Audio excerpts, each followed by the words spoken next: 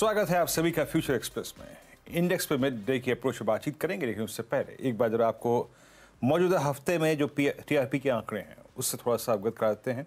और आंकड़े आपकी स्क्रीन पे आएँगे कि करके मार्केट के दौरान जब बाज़ार खुलता है, बंद होता है, उस बीच जो पूरा एनालिसिस और बाज़ार की चाल होती है, उस दौरान सी एन बी सी आवाज़ की बादशाहत कायम, बरकरार। मार्केट आवास में मार्केट शेयर लगभग 16.64.3 चौंसठ दशमलव तीन फ़ीसदी बाज़ार हिस्सेदारी के साथ बाज़ार ने इस बार के आंकड़े, आवाज़ ने इस बार के आंकड़े पेश किए आपकी स्क्रीन पर। और एक बार फिर से आप सभी को तहे दिल से शुक्रिया इस भरोसे के लिए, स्पेशली मार्केट, आज के दौरान मार्केट की चाल को समझने के लिए जो आपने हमारे साथ साथ दिया, उसके लिए बहुत बहुत शुक्रिया आपका। सी एन बी सी आवाज़ की बादशाहत कायम। मार्केट आज में लगभग 64.3 परसेंट बाज़ार हिस्सेदारी। बहुत बहुत शुक्रिया आप सभी का एक बार फिर से तहे दिल से। आते हैं अब डे अप्रोच पे इंडेक्स पर अप्रोच पे और इंडेक्स के स्टैट्स पे और आपकी आज की अप्रोच क्या हो सेकेंड हाफ़ के लिए उस पर बात करते हैं।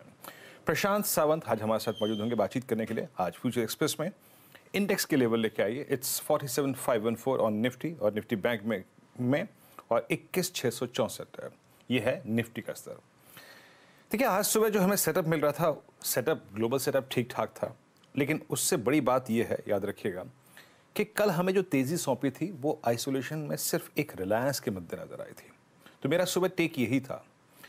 हमें नई ट्रिजेक्ट्री में जाने के लिए याद रखिएगा सेवन टेन के जोन के ऊपर कम से कम नहीं तो कुछ देर सस्टेन होना पड़ेगा otherwise will take a short call इक्कीस सात सौ दस के ऊपर हम नहीं टिके। बाज़ार सिंक हुआ, हमने करीब करीब अगर आप इंटरडे बेसिस पे देखें तो निफ्टी ने जो लोवेस्ट ट्रिजेक्ट्री छुई है आज ड्यूरिंग द डे वो थी करीब करीब इक्कीस छः सौ अट्ठाईस। मेरा क्लियर व्यू था। अगर हम सिक्स टेन जो कि आज की एक्सपायरी का जो कॉल आइटर्स का जोन है, अगर आप उसमें नहीं एंटर कर पाए तो आप सिंक होंगे। और अभी तक तो हुए हैं। हालाँकि अब थोड़ी सी रिकवरी आ गई है वहाँ से, तीस पॉइंट की रिकवरी आ गई है। और सेम केस था निफ्टी बैंक का। निफ्टी बैंक में मैंने डायरेक्टर साहब मेरे सुबह की रेजिस्टेंस प्लेट लेके आइएगा। मैंने आपको एक फिगर कोट की थी। और अगर आप उस फिगर को समझ पाए हो, वो क्या था? लेके आइएगा।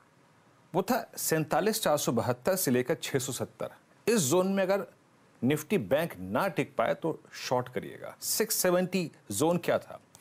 670 यकीन मानिए, ये जोन था निफ्टी बैंक का shortest moving average ten exponential moving average और आज का इंटरडे हाई अप्रॉक्सीमेटली यही है। तो निफ्टी बैंक भी सिंक हुआ लेवल से आज सुबह से हमें कोई भी ऐसा दिग्गज स्टॉक फ्यूचर नहीं मिला जिसके सहारे शायद हम एक स्ट्रेंथ की बात करते। हैं it's only one man show और वो था सुबह सुबह रिलायंस जो एक बार आज फिर एक स्ट्रॉन्ग ट्रेजेक्ट्री में गया और करीब करीब आप समझ लीजिएगा कि सत्ताईस के जोन को छू के आया। तो अभी तक बहुत छोटे ट्रेड्स मिले हैं। बाज़ार हायर लेवल्स पर सस्टेन नहीं कर पा रहा और जो अपने निफ्टी बैंक है टेन डेमा को नहीं कर, पार कर पाया और निफ्टी आज अपने इक्कीस छः सौ के जो 700 के जो ऑप्शन क्लस्टर था, उसको पार नहीं कर पाया। अब अप्रोच क्या रखें? अगर भिड़ना है इंडेक्स से, अगर ट्रेड लेना है, आइए स्टैट्स को देखते हैं एक बार आपकी स्क्रीन पे छह स्ट्राइक्स आएँगे कॉल्स और पुट्स की बैंक निफ्टी की और निफ्टी की। उसको एनालाइज करने की कोशिश करते हैं अगर आपको सुबह एक स्विंग शॉर्ट स्विंग अगर अच्छा मिला, अगर आप उसमें सेटिस्फाइड हैं दैट्स गुड लेकिन अगर आप इस वक्त के स्टैट्स को देखें, आपको एक चीज़ नज़र आ रही है। आई मीन इक्कीस छः सौ की कॉल डायरेक्टर साहब ने इंक्लूड कर लिया यहाँ पे। ठीक है ओके दैट्स फाइन मेरे ख्याल से यहाँ पे इक्कीस सात सौ डायरेक्टर साहब। इक्कीस आठ सौ पे ढाई करोड़ और बाईस हज़ार पे सवा दो करोड़। बाईस से खैर हमें सरोकार है भी नहीं। डायरेक्टर साहब, एक काम कीजिएगा। पुट को इक्कीस छः सौ की जगह आप इक्कीस छः सौ के पुट देखिए। सवा तीन करोड़ का आउटस्टैंडिंग वाई और चेंज ढाई करोड़ का इंटरडे में हुआ है। और इवन इक्कीस सात सौ की पुट भी तिहत्तर लाख बिकी है। जो कि इंडिकेट कर रही है निफ्टी के पास मनूवरिंग के लिए। निफ्टी के पास सेकेंड हाफ़ में रोटेट करने के लिए बहुत ज़्यादा स्पेस नहीं है। आप जरा इक्कीस सात सौ की कॉल को देखिए। आउटस्टैंडिंग वाई सवा चार करोड़। नहीं, पौने पाँच करोड़ बड़ा है। आउटस्टैंडिंग वाई पौने छः करोड़ हो गया। मैं आपको एक बात बताता हूँ। कभी कभी कहते हैं ना आई मीन अतिशोक्ति हो जाती है। कभी कभी अति हो जाती है।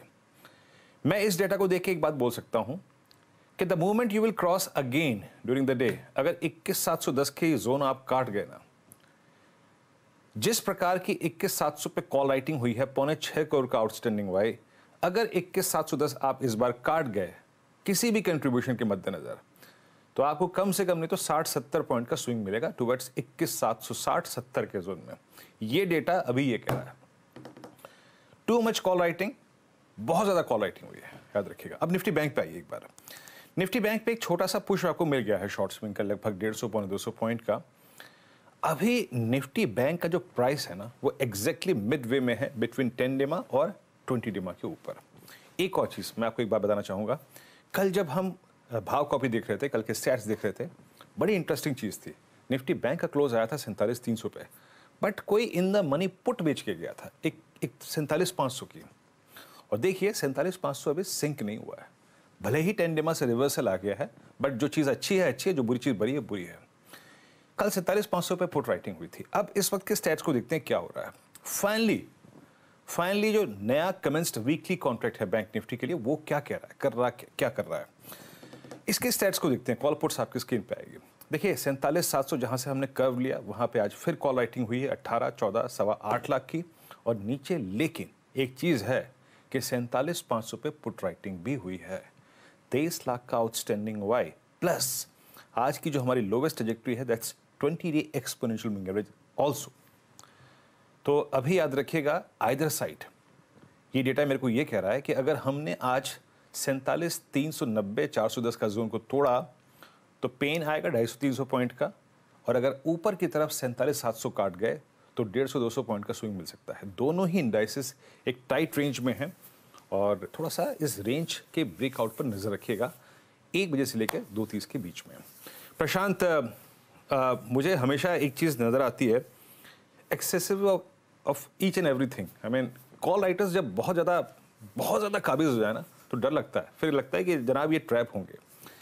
निफ्टी पे क्या आपको ऐसा केस नज़र आ रहा है क्या? इक्कीस सात सौ की कॉल राइटिंग पौने छह करोड़ का आउटस्टैंडिंग हुआ है। और सभी दर्शकों को नमस्कार। तो बिल्कुल जो आपने कहा वो एक ऑब्जर्वेशन मैं भी सुबह से कर रहा हूँ। और इनफैक्ट अगर मैं फ्यूचर्स लेवल को देखूँ तो 21620 21620 एक बहुत बड़ा सपोर्ट है और उसी के सामने 21775 एक रेजिस्टेंस है। जैसे आपने कहा, बिल्कुल रेंज के बीचों बीच है, अगर फ्यूचर्स को देखें। अगर हम दोपहर को 775 के ऊपर निकल जाए 750 के ऊपर भी निकल जाए 7 740 750 तो मुझे लग रहा है स्ट्रॉन्ग शॉर्ट कवरिंग रैली आ सकती है। तो इसलिए मैं फ्यूचर्स में 740 750 का जो जोन है, यहाँ से जस्ट 50 पॉइंट ऊपर वहाँ पे ध्यान रख रहा हूँ। और डाउन साइड सपोर्ट जैसे मैंने कहा ट्वेंटी वन सिक्स ट्वेंटी अगर इस रेंज के बीच ही रहे तो मुझे लग रहा है कि इंडेक्स पे कोई ट्रेंड नहीं करना चाहिए।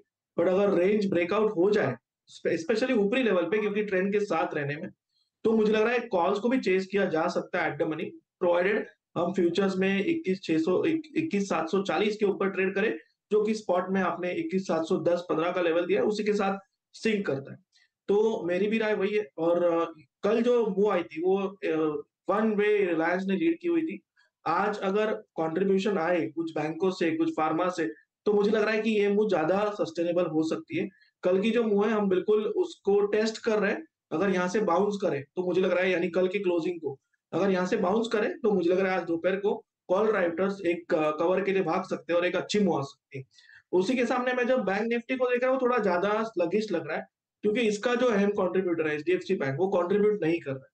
तो यहाँ पे अगर हम देखें तो फ्यूचर्स में सैतालीस तीन सौ फोर्टी सेवन थ्री हंड्रेड बहुत बड़ा सपोर्ट है। करंट प्राइस से साढ़े तीन सौ पॉइंट नीचे और 200 पॉइंट ऊपर फोर्टी सेवन एट फिफ्टी पे एक बड़ा रेजिस्टेंस है। तो मुझे लग रहा है बैंक निफ्टी जब तक डिसिजिव ब्रेकआउट क्लोजिंग बेसिस पे ना दे, या तो सैतालीस आठ सौ पचास के ऊपर या नीचे सैतालीस तीन सौ के नीचे बैंक निफ्टी को तो अवॉइड करना चाहिए। तो आज क्योंकि निफ्टी की एक्सपायरी है दोपहर को डेफिनेटली मेरी नज़र एक ही जगह पे रहेगी कि क्या इक्कीस सात सौ का जो कॉल राइटर है, वो कवर के लिए भागता है और फ्यूचर्स इक्कीस सात सौ चालीस स्पॉट इक्कीस सात सौ दस, पंद्रह के ऊपर निकल जाए। तो ये अगर होता है तो दोपहर को एक अच्छी एक्सपायरी मूव हम एक्सपेक्ट कर सकते हैं, वरना कॉल राइटर्स के ग्रिप में ही एक्सपायरी हो जाएगी और कोई भी डायरेक्शन नहीं होगा।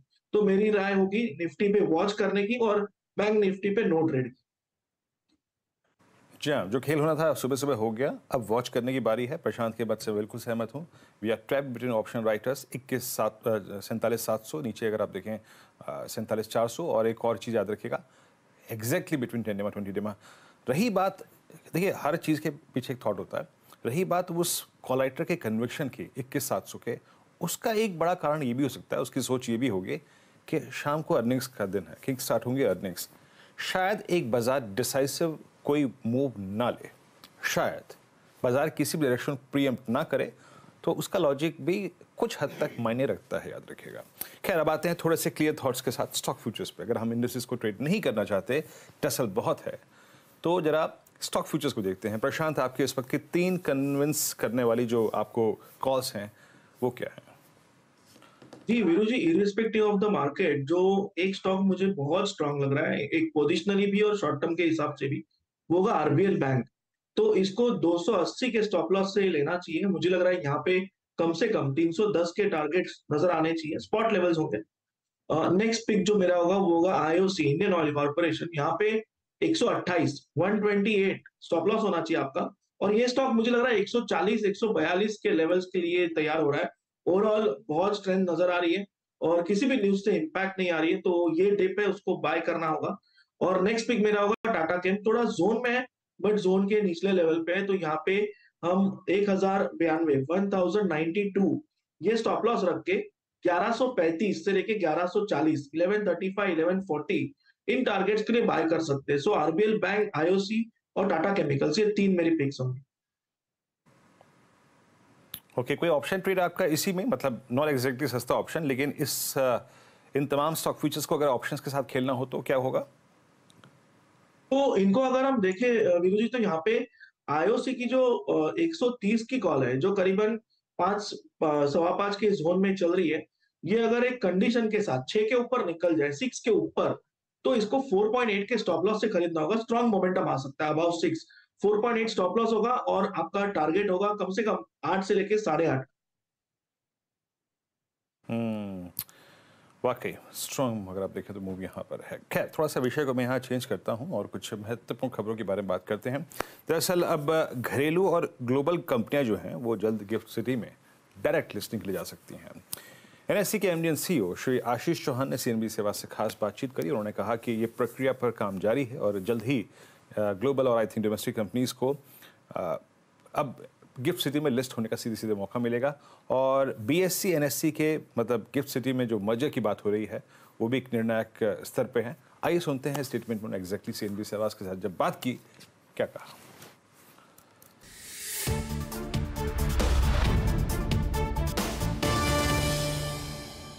एनएससी के MD and CEO Ashish Chauhan साहब इस वक्त हमारे साथ हैं। आइए हम उनसे एक्सक्लूसिव बातचीत करते हैं। सर, बताइए, खासकर गिफ्ट सिटी में वाइब्रेंट गुजरात समिट जैसे इवेंट से कितना फ़ायदा होगा और खुद प्रधानमंत्री ने इसको शोकेस किया है गिफ्ट को? जो गिफ्ट सिटी की एक्सचेंज है एनएससी इंटरनेशनल एक्सचेंज वो आज साढ़े इक्कीस घंटा जब जापान शुरू होता है, उसके पहले शुरू होती है। और जब कैलिफ़ोर्निया से होता है, उसके बाद से होती है तो नेचुरली पूरा वर्ल्ड कवर हो जाता है। तो उसमें जब ये डायरेक्ट लिस्टिंग की भी बात चली है, अब मुझे लग रहा है अगले एक दो महीने में वो भी जो भारत की कंपनियाँ हैं, वो भी भारत में लिस्टिंग न करके डायरेक्टली गिफ्ट सिटी में भी लिस्ट कर पाएँगे। जो म्यूचुअल फंड्स हैं local mutual funds Bharat Bharat के अंदर, उनको भी एक गिफ्ट सिटी में लिस्टेड कंपनियों में निवेश करने के लिए उनको एक कार्व आउट मिलेगा। तो मुझे लग रहा है ये सभी जो चीज़ें हो रही है, उससे गिफ्ट सिटी में भारतीय कंपनियाँ भी अपने आप नया कैपिटल रेस कर पाएगी जो लिस्टेड है या नहीं है दोनों। यहाँ पर एक प्रोसेस शुरू हुआ था बीएससी एनएससी मर्जर का। वो अभी तक कहाँ पहुँचा है और कब तक ये होगा? क्योंकि अगर ये मर्जर हो जाता है तो वाकई गेम चेंजर होगा और कंपनियों को भी आसान रहेगा और हमारे लिए भी आसानी होगी। तो ये मर्जर प्रोसेस कहाँ तक पहुँचा है कब तक होगा?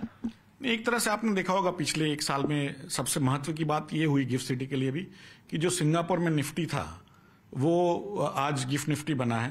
तो करीब जब हमने शुरू किया तो उस समय करीब दो तीन बिलियन डॉलर का ट्रेडिंग हुआ था। आज पीक ट्रेडिंग वॉल्यूम महीने में जो पीक ट्रेडिंग आता है करीब 16-17 बिलियन डॉलर का पर डे का वॉल्यूम आ जाता है। एक, एक लाख चालीस हज़ार करोड़ का एक दिन में ट्रेडिंग वॉल्यूम आता है। तो वो जो सक्सेस हुई दो कंट्री के बीच में वो अभूतपूर्व थी, किसी ने सोचा भी नहीं था।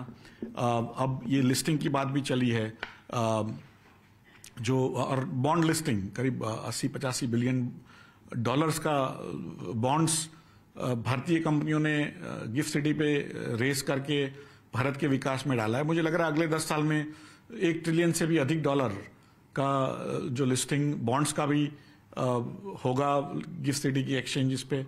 और वो भारत के विकास में उसको जोड़ा जाएगा। तो मुझे लग रहा है ऐसी कई चीज़ें हो रही है। उसके अंदर जो दो एक्सचेंजेस का जो मर्जर का बात था, उसमें दोनों एक्सचेंजेस के जो पेरेंट एक्सचेंजेस जो भारत में है एनएससी और बीएससी दोनों ने इन प्रिंसिपल अप्रूवल दिया हुआ है।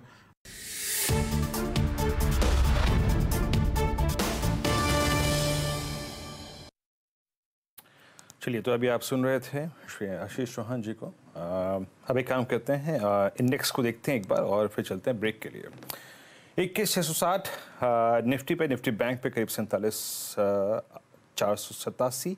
एक दो स्टॉक्स रख दीजिएगा डॉक्टर साहब स्क्रीन पे चलने से पहले टीवीएस मोटर्स को देख लीजिए ज़रा। टीवीएस मोटर्स डी हाई पर और और और yes two zero eight seven पे। ज़रा आप आयशा मोटर्स लेके आइए, ये डे हाई पर। शानदार मूव और मेरे स्क्रीन पे कुछ ऑप्शन एक्टिविटीज़ अपियर होती हैं इस स्टॉक की। उनतालीस बीस पिछले तीन दिन के हाईएस्ट क्लस्टर को ट्रेड करता टेस्ट करता हुआ ऑटो में सडनली एक अच्छा मूव आया है। खैर, इसको कैप्चर करने की कोशिश करेंगे, कुछ बातचीत मैं इन स्टॉक्स पे करूँगा और आज का सस्ता ऑप्शन ट्रेड छोटे से ब्रेक के बाद तुरंत हाजिर होते हैं।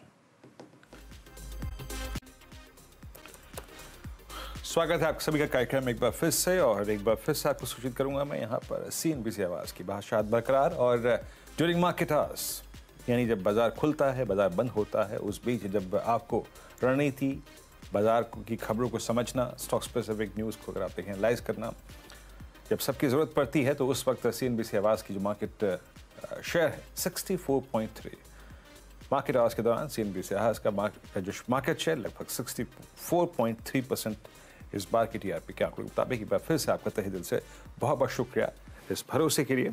CNBC आवाज़ के साथ। अब चलते हैं आज के सस्ता ऑप्शन ट्रेड के लिए प्रशांत जी के पास प्रशांत जी, बताइए क्या पिक कर रहे हैं आप? सस्ता ऑप्शन आज का।